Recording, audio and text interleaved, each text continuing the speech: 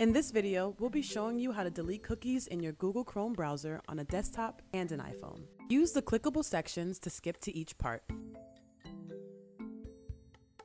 Open Google Chrome, locate and click the three vertical dots.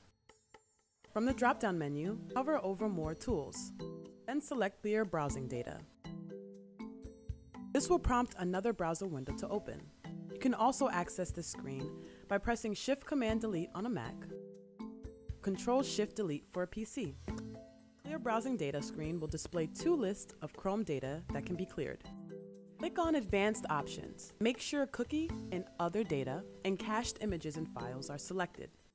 Click Clear Data to begin deleting the cookies stored in your Chrome browser. Clearing your cookies won't sign you out of Google applications, but you will probably have to re-enter your login for previously saved sites. Once completed, close the Settings tab and continue your normal browser. Tap on the Chrome icon to launch the application. Tap the History button to view your browser history. Tap Clear Browsing Data. Make sure that Cookies Site Data is selected. Click Clear Browsing Data. A pop-up window will appear to confirm your choice. Then click Done.